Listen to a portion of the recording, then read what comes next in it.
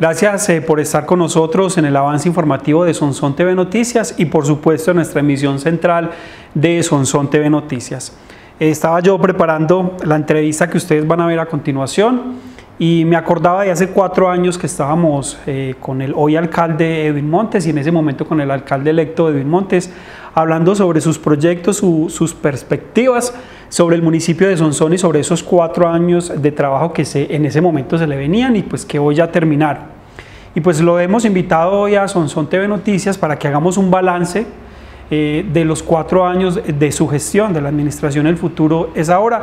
Alcalde, eh, nos aceptó muy amablemente la invitación, como siempre nunca nos dice que no, siempre presto a atender nuestras invitaciones y a que hablemos del acontecer eh, del municipio. Alcalde Edwin, bienvenido a Sonsón TV Noticias, gracias por aceptar la invitación y estar siempre con nosotros. Bueno, Dairo, un saludo especial, igualmente para cada uno de los televidentes, saludo cordial y por supuesto presto a que conversemos hoy ya finalizando esta etapa, finalizando pues esta alcaldía y bueno, contento y aquí vamos a conversar, conversar seguramente de muchas cosas pues de, la alcaldía. Así es, alcalde, vamos a hablar de todos esos proyectos que se ejecutaron, de esos que quizás se estén ejecutando y de esos que no se ejecutaron. Hay que hablar de todo, alcalde, acá. Para eso lo hemos invitado y esperamos que esté muy abierto a que hablemos de todo ello. Bueno, alcalde, hace cuatro años cuando estábamos por allá hablando de, eh, esas perspectivas de su administración, quizás usted tenía una visión de lo que era ser alcalde del ejercicio público y quizás hoy sea otro. Eh, para usted, ¿qué ha sido eh, lo mejor de ocupar el puesto de la alcaldía, de ser alcalde del municipio de Sonsón? ¿Qué fue lo mejor? Hoy terminando. Bueno, a ver, decir que fue lo mejor en, en, una sola cosa, pues es difícil porque la verdad hay muchas cosas positivas y que le llenan a uno el corazón de alegría de saber que, que se pudieron hacer, ¿cierto? Pero de pronto, resumiéndolo, yo diría que, que, el hecho de haber podido ayudar, en general, de haber podido ayudar, por un lado, sea en el tema de carreteras o de viviendas o de escuelas o de, o de proyectos agropecuarios, haber podido ayudar, haber podido, ayudar, haber podido servir. Le, le voy a poner un ejemplo que, lo, que en estos días, yo creo que fue en el programa que hacemos los lunes cada mes, lo, lo dije. Y es que eh, en una de tantas vías que, que, aperturamos o que ampliamos el camino, en veredas pues, que no las tenían y que hoy le permiten a los campesinos transportarse y transportar sus productos sin, tanto problema.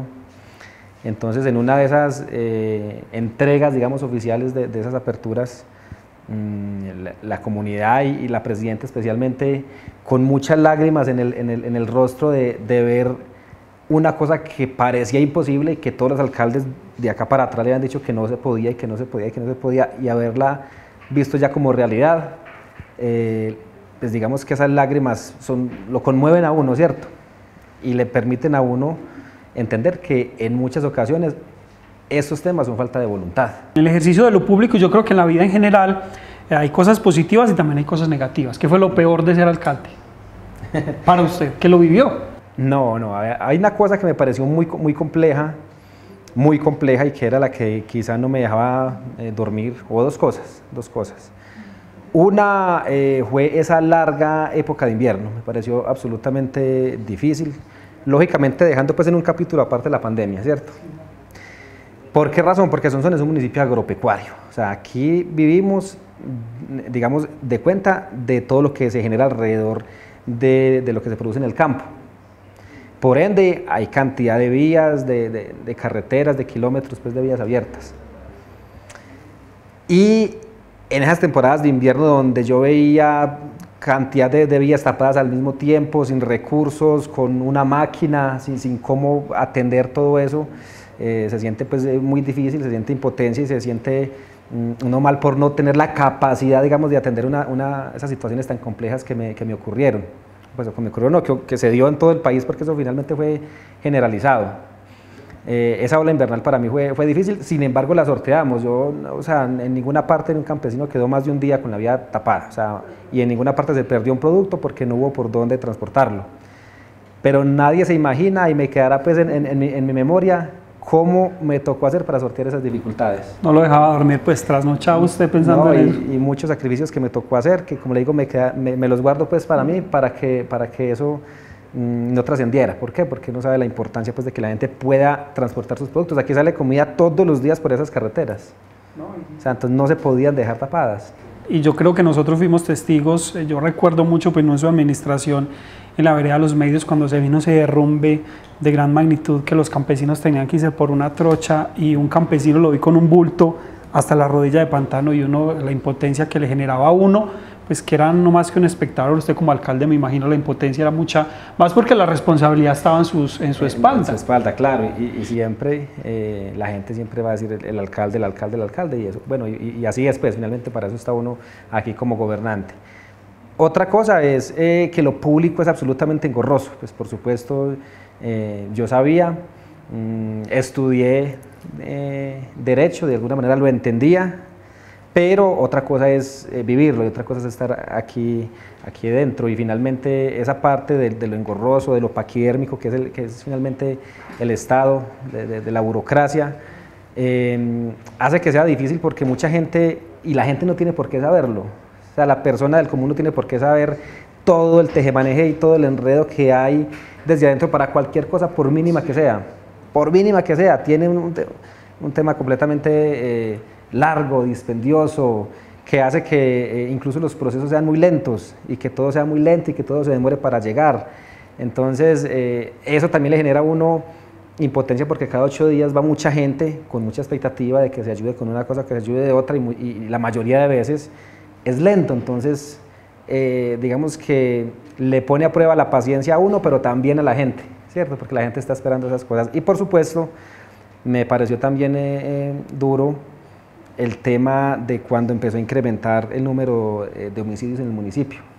¿Por qué? Porque también pues, la gente, cada que hay un suceso de esos, pues siempre va a remitir esa, al alcalde, ¿qué está haciendo el alcalde? ¿Qué está haciendo el alcalde? Y son cosas que de alguna manera son complejas, porque también hay una gran cantidad de situaciones alrededor de esto. Eh, la policía es insuficiente y es imposible tener también un, policía en cada esquina. Si, se pudiera, se, tendría, pero es realmente difícil.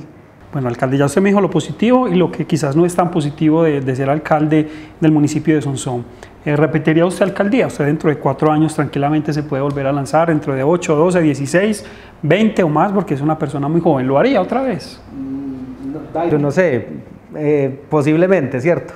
Posiblemente. No, por ahorita mis expectativas están eh, en otras posibilidades, ¿cierto? Y espero pues seguir adquiriendo experiencia, seguir avanzando, seguir ayudando, que donde, donde esté pues pueda seguir colaborándole a la comunidad del municipio, de la región. Y, y, quizá, pues me imagino que, que, no sé, que en 12 años eh, haya una posibilidad y que haya el ambiente para eso y que pues, siempre estará esa posibilidad. Pues no digo que no, porque siempre será pues una posibilidad, por supuesto. ¿Qué va a ser alcalde a partir del primero de enero cuando ya no sea alcalde de Sonsón?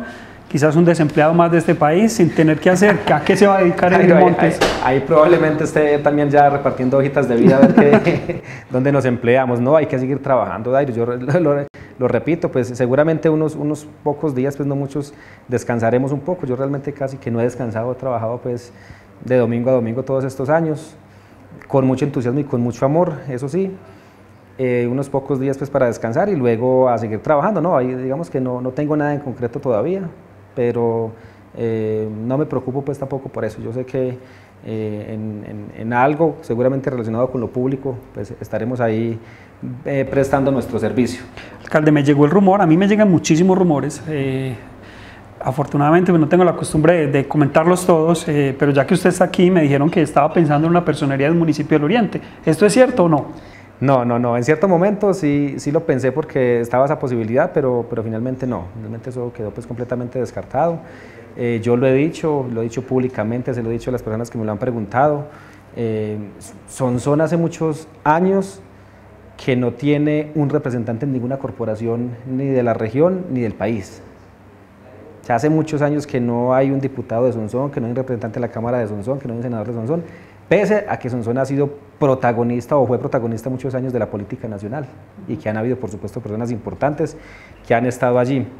Y yo, y yo pienso que a Sonsón y a la región le hace falta alguien que esté allí también ayudando y con amor propio por la región, ayudando a, gestionar y a traer eh, recursos y proyectos para, para el municipio y para la zona.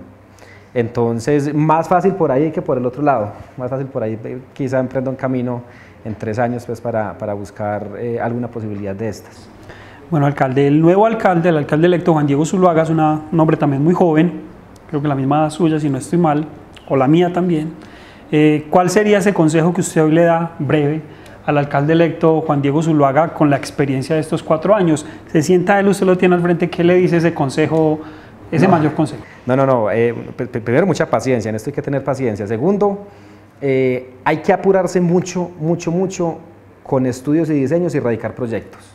Esa es una, una enseñanza pues, que me queda de, la experiencia de estos cuatro años, porque volvemos a lo que estamos hablando ahorita, Dairo, la, la gestión con el Estado es muy lenta y para sacar un proyecto importante se tarda uno casi los cuatro años. Entonces, si uno no madruga con estudios y diseños y radicando proyectos en la gobernación y en, y en las entidades del gobierno nacional, le coge la tarde.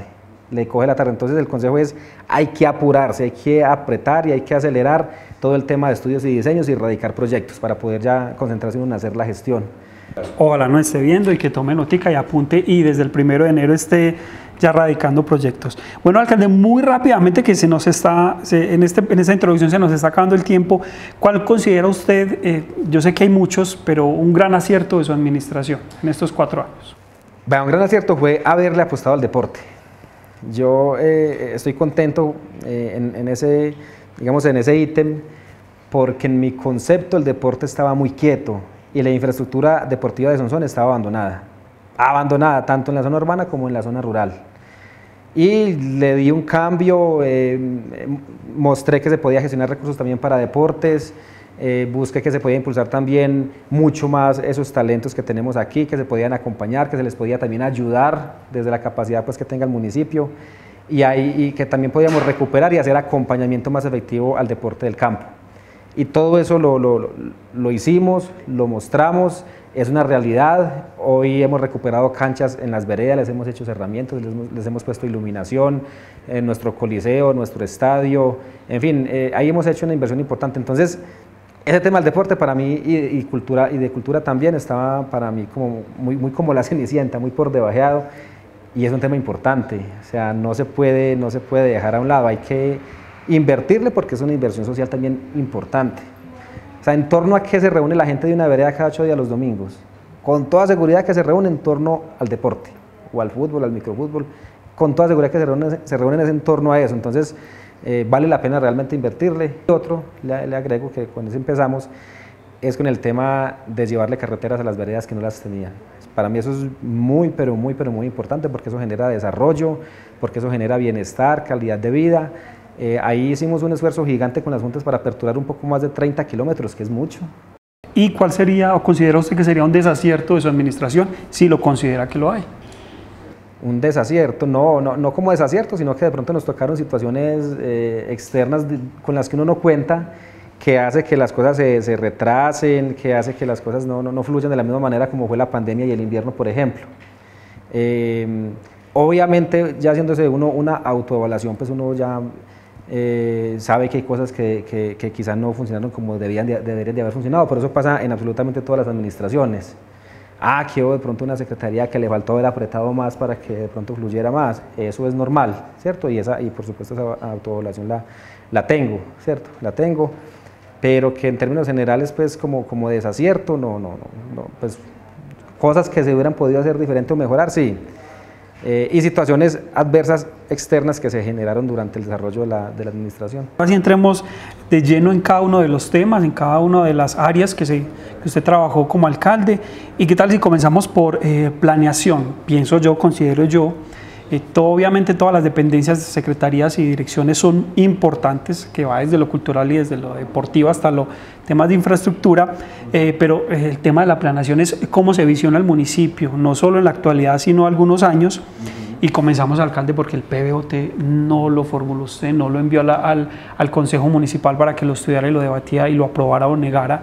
¿Qué pasó con el PBOT, alcalde? Sí, pero, pero yo le cuento exactamente qué, qué fue lo que claro, pasó con el PBOT. Vea, el, el es, es, es, esa ruta y esa guía que tiene el municipio para 12 años, ¿cierto? Para tres, tres periodos administrativos. Efectivamente, eh, lo contraté, eh, se hizo pues toda la documentación, incluso hicimos los talleres por las veredas, por los corregimientos, recogimos la información, toda la parte técnica del municipio, en fin, todo, absolutamente todo, todo, todo, todo, todo.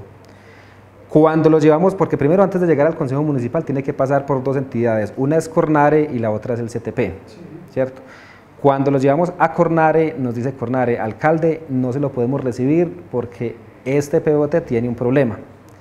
Y el problema es que en el PBOT, en el área urbana, uno cuando lo, formula, le hace pues un tema de expansión urbana al municipio. Entonces hay una área alrededor del municipio que queda como zona de expansión, ¿cierto? Y resulta que el municipio, todo está en ley segunda. O sea, ¿qué es ley segunda? Ley segunda es una ley eh, ambiental o de protección ambiental, que hace pues, muchos años está vigente. Como está en ley segunda, entonces Cornare no puede aprobar esas zonas de expansión mientras el municipio esté dentro de, ley segunda. Y no contábamos con eso. Ni Cornare nos había dicho eso, ni nos había dicho que teníamos que eh, sacar el municipio de ley segunda, ni contábamos pues, que, eso que, eso tenía que ser así. Y para hacer ese proceso, el proceso hay que hacerlo con el Ministerio de Medio Ambiente. Y con el Ministerio de Medio Ambiente, hasta para una asesoría con eso es casi que misión imposible, sin embargo lo hemos hecho pero es un trámite muy demorado. Es que yo tenía todo presupuestado, Dairo y Televidentes, para que a principio de este año el PBOT estuviera ya debatiéndose en el Consejo Municipal. Así lo tenía yo presupuestado pues, eh, con base en todo lo que habíamos hecho, lo que habíamos trabajado, la información que se había recogido, la plata que, que hemos gastado en profesionales haciendo ese documento gigante de planeación, ¿cierto? Cuando nos ocurre eso, pues por supuesto, eh, truncado pues esa expectativa y buscando con el ministerio que nos den esa aprobación, que nos saquen de ley segunda para que eso pueda avanzar en Cornar y luego en el CTP. Y ha sido muy, pero muy difícil, muy difícil. Eh, planeación tiene que seguir con ese propósito de que el ministerio avale esa solicitud y exonere esa zona de expansión urbana que planeamos ahí de ley segunda para que el, para que el proyecto pueda avanzar. ¿Qué ventaja queda de que el estudio está hecho? O sea, el, paquete está completo y está, y está listo. El único, el único tema es que se saque esa zona de ley segunda. No más eso, es que el resto del proyecto está hecho. Es que yo eso le he trabajado mucho a Airo, yo le, a eso le he gastado plata y mucho tiempo porque yo lo tenía absolutamente claro de que era una prioridad.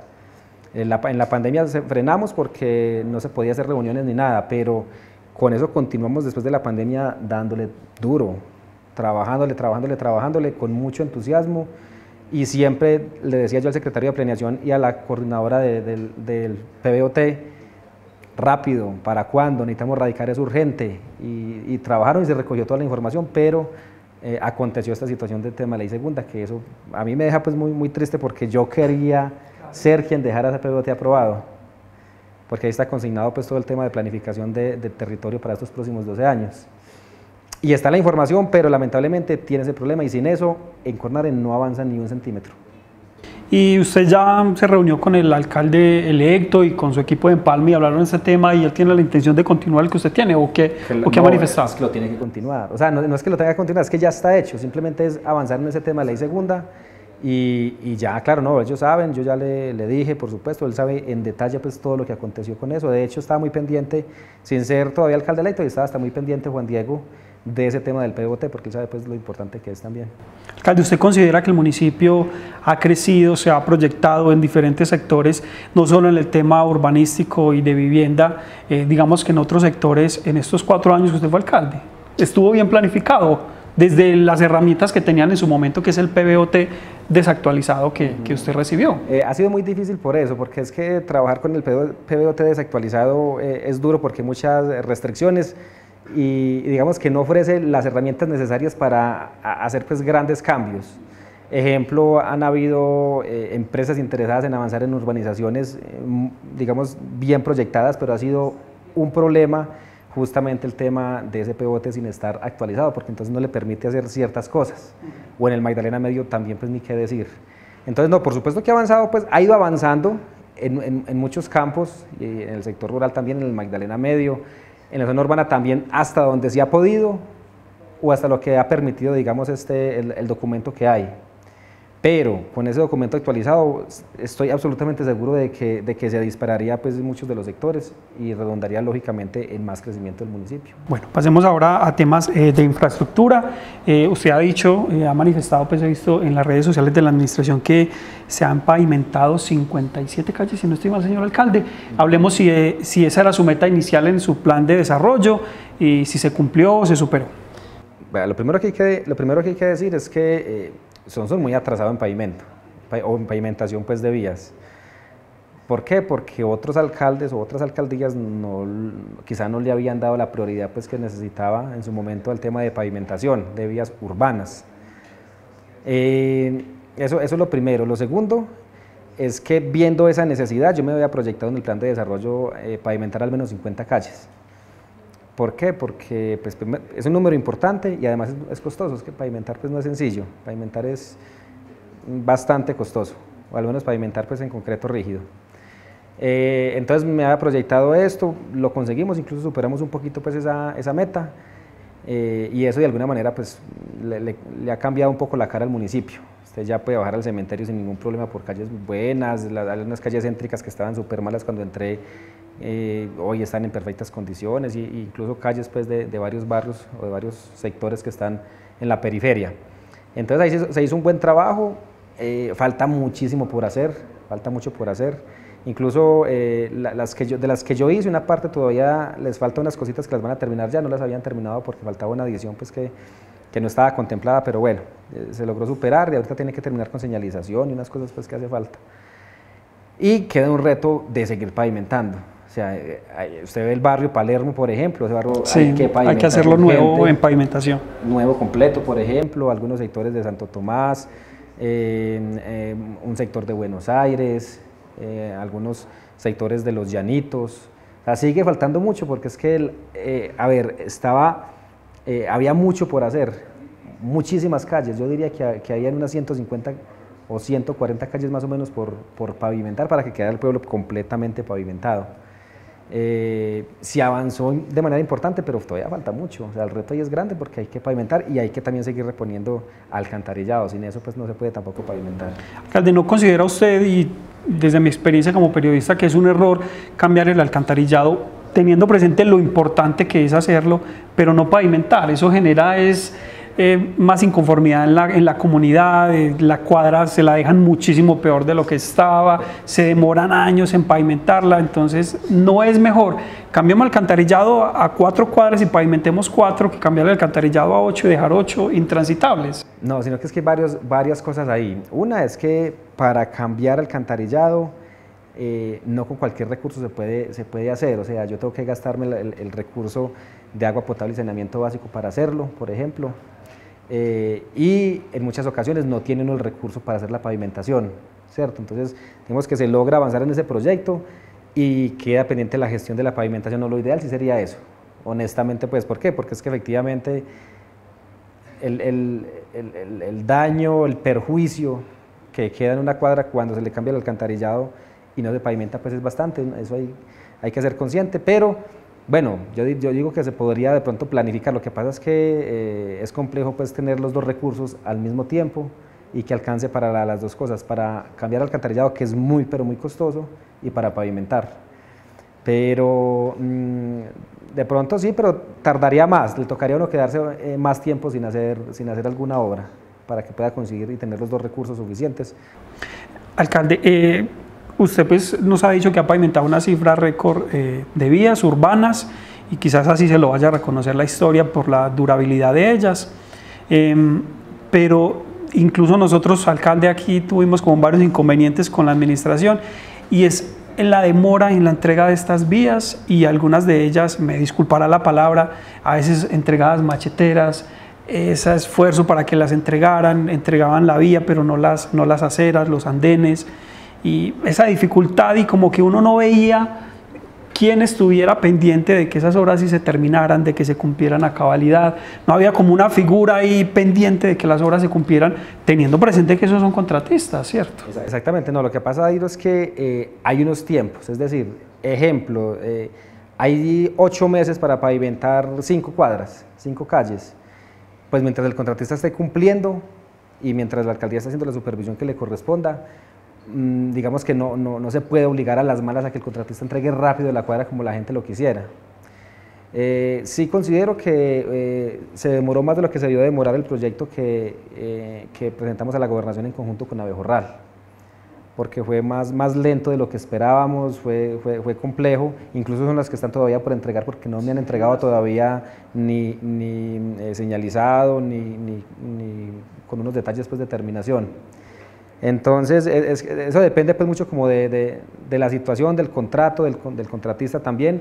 Hay veces que el municipio le toca, por supuesto, con el, supervisor, apretar el contratista, para que, para, porque hay algunos que son muy, muy, lentos y que, si no está uno tallándolos no avanzan, eso también es cierto, pero eso pasa casi en todo tipo de, de obras, eh, aquí tuvimos unos muy buenos, otros no tanto, porque los que fueron buenos, mire que no generaron problema, se hacían rápido las cuadras, las terminaban, las entregaron, con otras pues nos tocó más difícil. Alcalde, ¿cuántos kilómetros de placa se hicieron en, en Sonsón?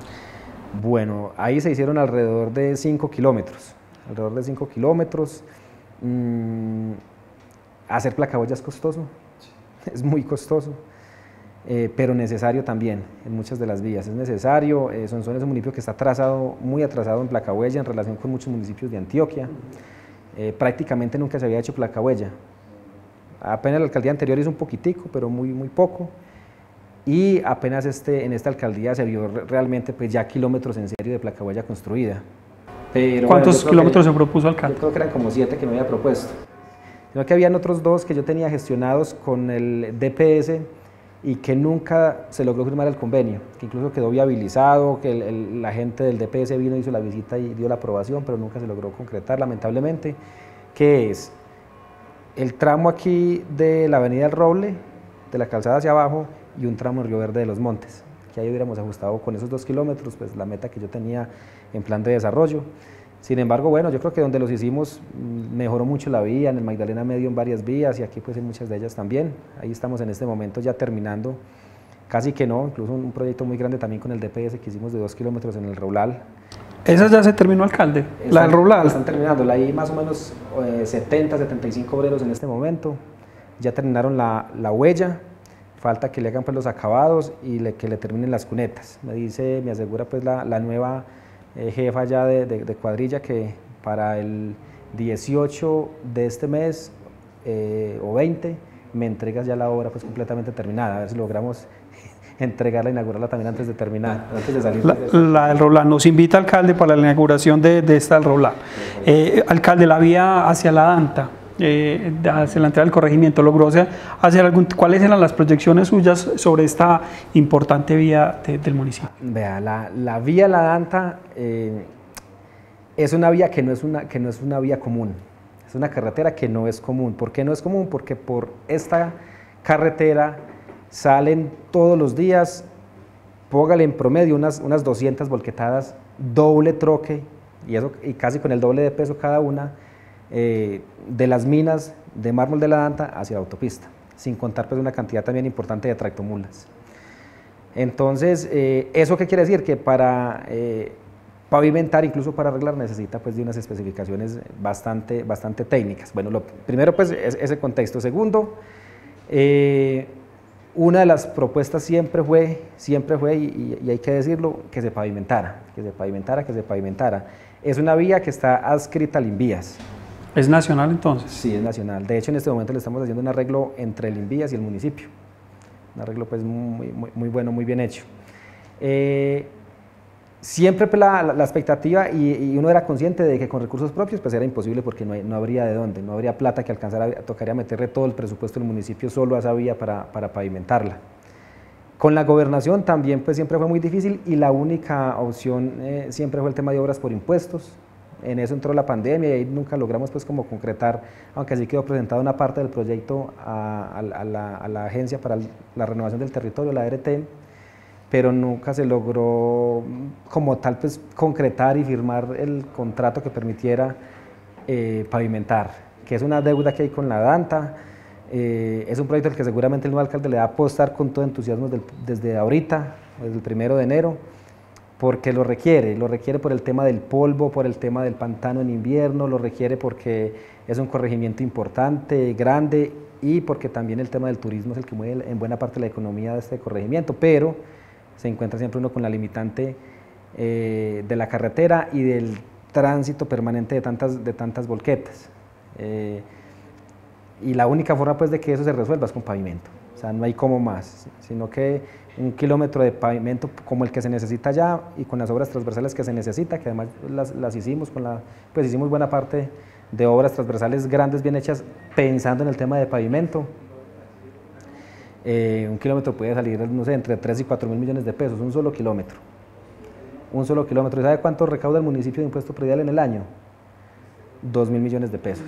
O sea, con lo que usted recauda en todo el año de impuesto predial en Sonsol le alcanzaría para hacer medio kilómetro de lo que se necesita ya. Entonces, digamos que esas son, son, situaciones con las que uno se encuentra, cuando uno entra, entra con mucha expectativa, pero hay realidades pues, que, que son difíciles de manejar por el tema presupuestal, por el tema de plata. Por así llamarlo eh, coloquialmente, el coco de la administración anterior y quizás de la suya, alcalde, sea la, la plaza de mercado. Sí. ¿Qué pasó que no se concretó? ¿Estaba quizás en el plan de desarrollo, alcalde? No, por supuesto que está en el plan de desarrollo porque era un proyecto eh, absolutamente, o es un proyecto absolutamente importante. O sea, tener esa plaza de mercado, ese centro de acopio es, es, necesario, aunque cuando yo lo estaba formulando, de hecho los comerciantes pues no estaban de acuerdo con que, con que, con que se hiciera y que no querían pues que, se, que los pasáramos de un lado para otro.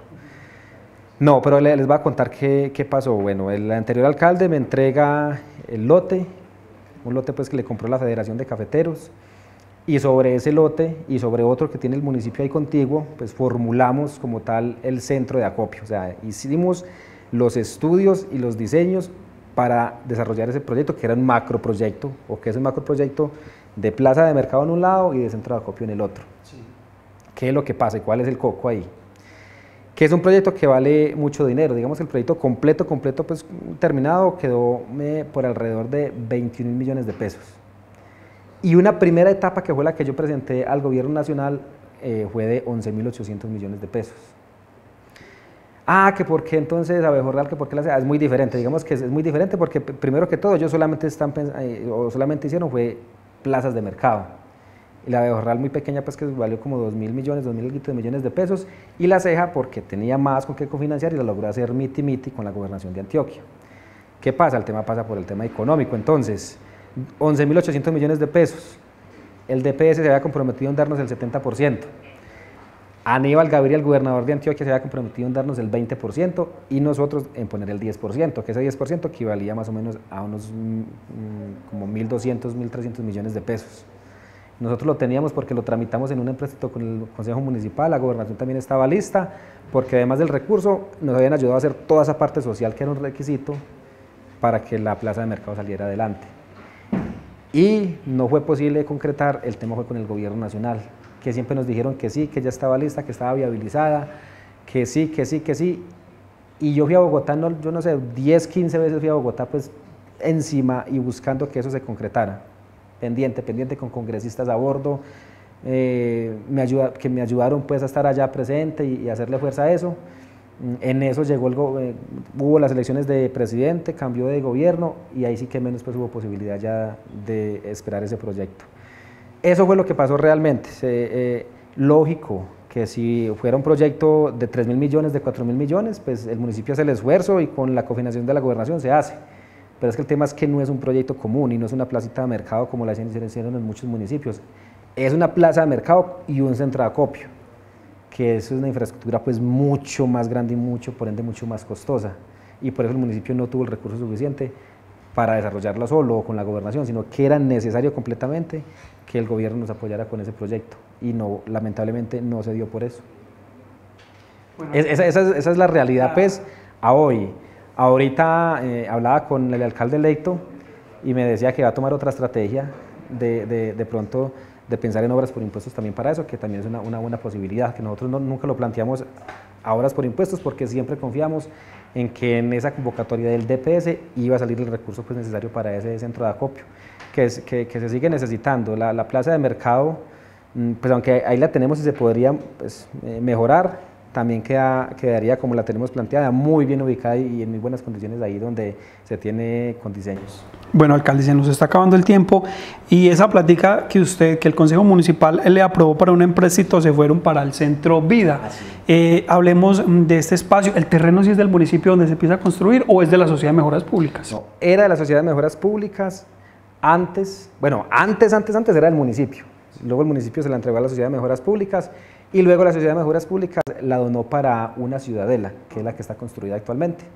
Y en la otra parte, entonces es donde se plantea ya eh, desarrollar el proyecto como tal de Centro Vida Día para los adultos mayores.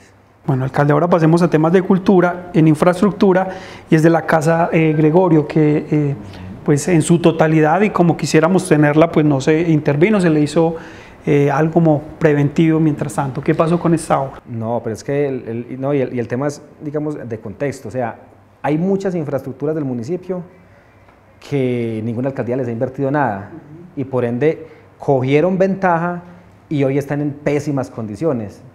Hasta la alcaldía, mire que me tocó intervenirla porque se estaba cayendo a pedacitos. Ustedes veían la, la alcaldía cayéndose a pedacitos. Y así como la alcaldía, como esta parte de allí de la, de la casa Gregorio Gutiérrez González, pues también en muy malas condiciones. Hombre, ¿qué es lo que pasa? Si yo no le hago esos primeros auxilios, a esa casa se cae. O sea, la cantidad de agua que le caía a los locales comerciales que están ahí en la parte de abajo era impresionante se estaba cayendo a pedazos. Entonces, de una parte, me tocó urgente hacer unos primeros auxilios. ¿Cuáles fueron esos primeros auxilios? Hacer una cubierta temporal, una cubierta. ¿Para qué? Para que no siguiera cayendo agua dentro de la casa y dentro de los locales comerciales y para que no siguiera, digamos, representando un peligro grande a toda la comunidad pues, que por allí transita y los que viven de esos negocios. Y lo segundo fue empezar que para ese pues sí no había tampoco un, recurso fijo, pero sí empezar y organizar los estudios y los diseños que los hicimos con Ferrocarriles de Antioquia, que son expertos en el tema. ¿Por qué con ellos? ¿Y por qué, y por qué incluso pues el costo? Porque fue, fue, costoso, porque es un bien de interés patrimonial nivel 1. Y, no es, y, y es más costoso recuperar y hacerle mantenimiento a esas infraestructuras de esas características que incluso construir nuevo. Entonces tiene que ser unos estudios de diseños con unas especificaciones muy técnicas, muy puntuales y de gente completamente experta, porque además esos bienes también los vigila eh, la gobernación de Antioquia a través del Instituto de Cultura y Patrimonio. Entonces lo que yo hice fue esas dos cosas, o con ese recurso de cultura hicimos tres cosas. Uno, revisar y reformar el, el, PEM, que es el Plan Especial de Manejo de Patrimonio del Centro Histórico, que además se le hizo unas reducciones y demás.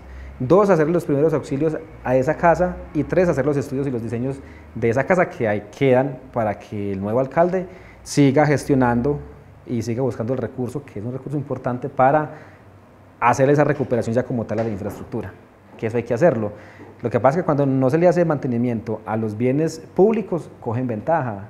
Y después de que cojan ventaja, vale más y cada vez vale más y cada vez va a valer más recuperarlos. Eso fue lo que pasó con esa con esa casa que es tan importante pues, para el municipio. Y la Escuela de la Música también había un dinero para su intervención, sí se logró ejecutar, sí se intervino. Sino que no, no, no, alcanzamos, pero sí, sí hay un convenio, lo que pasa es que hay tiempo, ese es un convenio que dura como dos años, este es el año que entra. Pero sí, sí hay un dinerito, son algo más de 100 millones de pesos para hacer unas intervenciones pues, puntuales a la Casa de la Música. Para no verla como la Casa Gregorio en unos ah, años. Que ha pasado lo mismo, no le han invertido, no le han invertido, eso es lo que ha pasado también con esa casa. O la Casa de la Cultura, la dejaron en la Danta, la dejaron acabar completamente, pero acabada es acabada. Ya la tenemos lista para inaugurarla ahorita en 15 días, si Dios quiere, más o menos, en la Danta, ya pues completamente diferente a lo que era y ya pues en buenas condiciones, eh, apta para, para todos los servicios que presta allí en materia de cultura en la Danta, por ejemplo. Alcalde, otro tema con el, eh, cultura, yo creo que en general con algunos eh, áreas del municipio. Y no le he dicho los, de los puestos de salud también, los dejaron acabar, vueltos nada. Ahí logramos recuperar dos, Alto de Sabanas y La Soledad, sino que es que se me va viendo a, la mente bienes de interés público, bienes del municipio que los dejaron acabar porque no les invertían nada. Y apenas, y, o sea, en una sola alcaldía recuperarlos todos es imposible. Antes es gracia que logramos recuperar un, pues, varios de ellos. Y un ejemplo similar, que más adelante ya no lo vamos a tocar, es el de las escuelas rurales.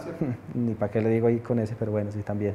Bueno, alcalde, eh, otro tema es el, de los contratos de los docentes de, cultura y yo creo que en general de algunas áreas del municipio, contratos muy cortos que quizás no dejan que esos procesos avancen, porque esos contratos a tres meses... No, Dairo, vea, por el contrario, yo he sido el alcalde que más le ha invertido al tema de cultura y especialmente al tema de profesionales eh, gratuitos para la comunidad, para los jóvenes y niños de Sonsón, eh, de manera permanente en el municipio, sino que ya a esta última etapa sí es falta de dinero, realmente. Pero en estos, en estos tres años, en estos cuatro años, procuré mm, con todo el amor del mundo y con todo el entusiasmo de, de hacerle una buena inversión, de contratar profesionales, de que fueran contratos lo más largos posible para que los procesos no se interrumpieran. Y solo ahorita, pues ya para terminar esta alcaldía, sí fue que no me alcanzó el dinero, porque también, pues digamos que se le invirtió mucho a las fiestas del maíz. Y en ese sentido, entonces, eh, los contratos quedaron más cortos, que me da pues también pesar porque yo fui reiterativo y, le metí mucha plata a eso, cosa que tampoco habían hecho nunca, prácticamente nunca. Eh, y me da tristeza pues que que al final ya haya quedado tan cortico porque el proceso sí, sí se interrumpe. Pero digamos que me, estoy defendiendo desde que en el transcurso de los cuatro años sí procuré siempre hacer esa buena inversión con profesionales y que los contratos fueran lo más largos posible. Estadio, pero yo creo que ya lo tocamos por encima también, o quizás algo que agregar ahí breve, alcalde. No, eh, que esa es una gestión muy importante, el municipio la estaba necesitando y esperando hacía muchos años y ya, se está consiguiendo. ¿Y va bien las obras? ¿Van puntuales? ¿Se van a entregar puntuales? No, o sea, no lo alcanzo a entregar como inicialmente se había propuesto, que era a 31 de diciembre. Eh, pedimos un poquito más de tiempo en Indeportes Antioquia, para que, para que puedan culminar porque no se va a alcanzar a terminar en, esa, en ese momento, pero están trabajando y el tiempo está bueno, entonces les está rindiendo, está quedando muy bueno. La cancha va a quedar sintética, la del estadio, y sí será un acierto teniendo presente que la cancha sintética del Coliseo, pues casi yo no veo que se le haga mantenimiento, pues no soy usual deportista de este espacio, pero uno no la ve en buenas condiciones. Ahora el estadio que es tan grande, ¿quién garantiza su mantenimiento? Es, que es muy diferente, Dairo, porque es que la cancha del, del Coliseo eh, es una cancha que era de exhibición, ni siquiera era una cancha para hacer todo el deporte que se hacía allá. Antes salió muy fina, si lo quieres saber, sí. En cambio, la cancha del estadio es una cancha de una especificación muy importante, de muy buena calidad, que por supuesto hay que hacer el mantenimiento, pero para eso ir a ver un presupuesto y seguramente esa pues, va a estar siempre en muy buenas condiciones. No, la del coliseo hay que cambiarla, hay que hacer otra. Yo la iba a hacer, sino que no me alcanzó la plata no me alcanzó la plata porque prioricé otras cosas, prioricé en los medios también una hora de, deporte que estaban esperando hacía mucho tiempo. Y la del Coliseo lo que hay es que cambiarla porque ya cumplió su vida útil, porque antes duró mucho y porque era una cancha de, de exhibición, era una cancha muy sencilla. Bueno, en agricultura, eh, pasemos a, a Limontanti su apuesta en el sector agropecuario. ¿Cree usted que fue exitoso y funcionó y se cumplieron los objetivos? Se cumplieron los objetivos, aunque los objetivos Dairo no eran solamente, eh, digamos, dados para este periodo. No. El, objetivo central del tema de limón es a mediano plazo, es decir, más o menos a otros cuatro o cinco años, porque es, un, un producto de, largo, de mediano plazo. Y creo que se cumplió la expectativa más de lo que pensábamos. A nosotros empezamos con el limón en Sonsón, y nosotros lo empezamos. Y ya hoy hay limón sembrado por mínimo ocho municipios aquí alrededor de Sonsón. Bueno, aquí en, temas de educación en infraestructura, pues ya hablamos de ese tema de, intervención de escuelas rurales. Quizás usted nos dé una cifra exacta de instituciones y también nos habla y nos mm, puede comentar algunos problemas en, ellas, como la de la escuela de Guamal, la Paloma, el Brasil. ¿Qué ha pasado en estas instituciones que estas obras pues, se han visto estancadas y no avanzan? Sí, porque son diferentes. Vea, eh, incluso, por ejemplo, la gobernación eh, tuvo programas de, arreglo de algunas escuelas y siempre en última nos salía más económico, más, más eficiente, más efectivo hacer los arreglos nosotros mismos, ¿cierto? Porque hay veces cofinanciar algunos proyectos sale más costoso todavía. En algún, no en todos, pues que quede claro, en, en unos casos particulares como en este tema de escuelas. Eh, me presupuesté arreglar 50 escuelas, arreglamos 62, eh, de hecho bien arregladas. a las escuelas lo que le hacían era maquillar, unos, pequeños temas de maquillaje, muy someros, pero nunca le habían hecho arreglos pues realmente bien hechos y buenos como se los hicimos en esta, en esta alcaldía. Y con esas dos, la del Brasil, no, la del Brasil simplemente eh, no nos alcanzó el recurso ni el tiempo, entonces lo único que hicimos fue un tema concreto de unos baños y organizar unas cositas como urgentes. Pero entonces la de Guamal y la de La Paloma es diferente porque esa fue con un proyecto con el gobierno nacional, donde yo les aporté una plata, más o menos 110 millones de pesos, y ellos licitaron en la misma la misma o el mismo ministerio licitó y contrató el arreglo de esas dos escuelas. Entonces ha estado en cabezas de ellos, la de Guamal ya está que la terminan y esperamos que empiecen la de La Paloma. Ha sido muy traumático porque han sido muy lentos, un contratista muy regular que ha sido muy lento, pero que ahí hemos estado encima mandando derechos de petición, haciendo, buscando que eso avance y con mucha dificultad pues logramos que bueno, ya vayan terminando la de Guamal y esperamos que también se termine la de la, de la Paloma porque... Bueno, alcalde, me va a disculpar usted, le voy a pedir un poco más de, de, agilidad como las respuestas para que podamos tocar todos los temas que nos faltan, que creo yo todos son muy importantes. Y, pasemos a este tema de servicios públicos. Eh, creo yo y consideramos el análisis que se ha hecho que no se avanzó bastante o lo necesario para el crecimiento del municipio en acueducto y alcantarillado. Y le quiero dar dos ejemplos, alcalde el tema del alcantarillado que se hizo para la construcción de las casas en, Vegas del Páramo, que el municipio hizo una parte del alcantarillado por el barrio Pío 12 y a los eh, dueños de los lotes les tocó pues, a ellos para poder finalizar el proyecto construir otra parte del alcantarillado, pues, que se supone que son obras que debe hacer el municipio con los impuestos de todos. Y en el barrio Tapete se están construyendo unas viviendas nuevas, está creciendo el tema de vivienda, pero no se les da la facilidad de conexión a servicios públicos, específicamente a temas de agua potable. Digamos que hay un tema de trabas, por así llamarlo, eh, para que se puedan conectar eh, al tema de acueducto. Incluso les dicen que ellos tienen que traer el tema de, de la tubería principal. Eh, bueno, ¿Cómo, cómo, cómo, avanzamos en temas de acueducto, alcantarillado o servicios públicos? Pero muy concreto, ¿no? Lo que pasa es que el municipio tiene unas prioridades, DAI, unas prioridades y unas necesidades en el tema de, de, alcantarillado, por ejemplo, y acueducto. En el caso de la calle de Pío 12, que es la carrera cuarta, entre calles 13 y 14, eh, esa no la teníamos como prioridad. ¿Por qué? Porque es una calle que estaba en muy buenas condiciones, ¿cierto? Que, que, que no lo ameritaba, que habían otras que eran más necesarias para poder posteriormente pavimentar. En ese sentido, entonces lo que hicimos nosotros fue, eh, con base en la propuesta de la misma gente de Vegas, porque fueron ellos quienes nos propusieron, entonces que el municipio les terminara una parte eh, de alcantarillado que no existía, ¿cierto? O sea, alcantarillado nuevo, completamente nuevo. Y que ellos se comprometían a hacer el resto de la calle para que la empresa les pudiera dar la factibilidad de servicios públicos y ya ellos poder tramitar la licencia y empezar la construcción de sus viviendas. Ese, ese, es el tema. Entonces, ¿por qué no se priorizó ahí? Justamente porque había otras prioridades y ellos fueron los que hicieron la propuesta. Entonces, yo, ¿qué, ¿qué, digo yo? Pues hombre, si esa es la propuesta, pues al municipio también le conviene. Y si tienen la forma, pues para adelante, porque hay dos urbanizaciones allá que se van o que se tienen presupuestadas para desarrollar. En el tema de, las de, tapete, bueno, en ese sí no, no, tengo pues como conocimiento concreto frente al tema de las solicitudes de las, de las personas de allá. Eh, incluso me llevo la inquietud para, para hablarla en la empresa, pues yo, lo que veo es que la empresa, eh, al contrario, siempre busca es eh, avanzar y ayudar desde su capacidad, por supuesto.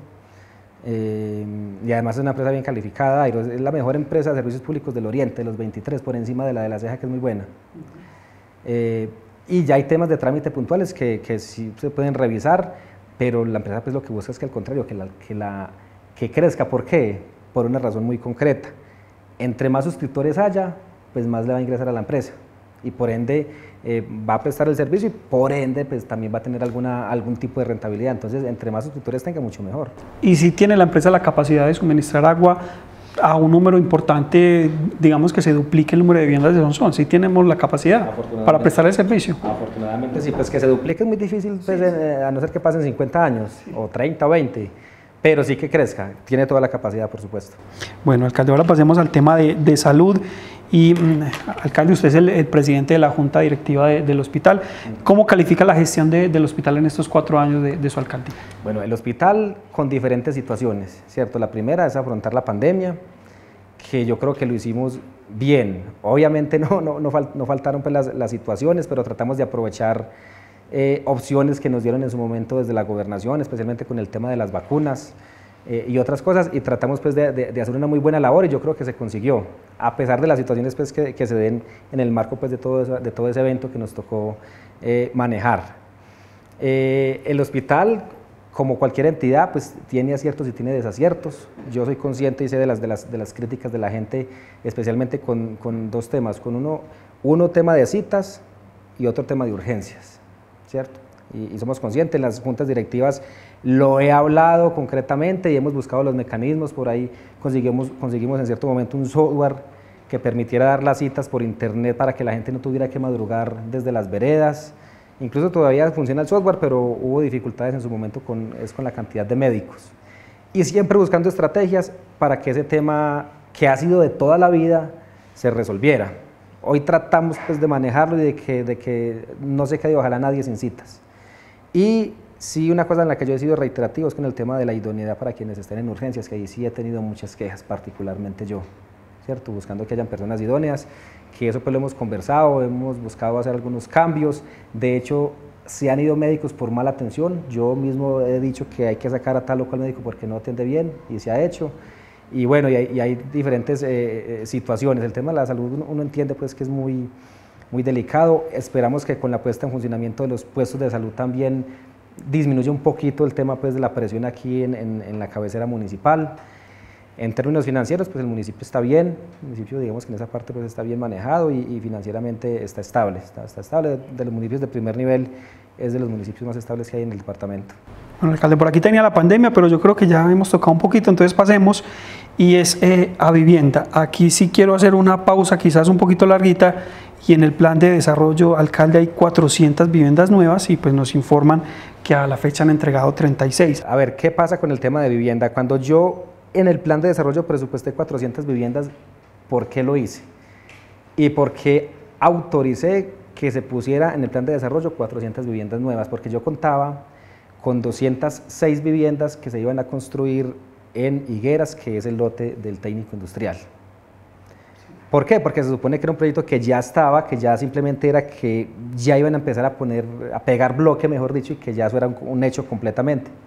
Entonces yo preveyendo eso y preveyendo una posibilidad que había con Confama y con Viva en los lotes de Viva, yo dije, con esas dos cosas sobraba justo las 400 viviendas. Digamos que en teoría era completamente viable en su momento.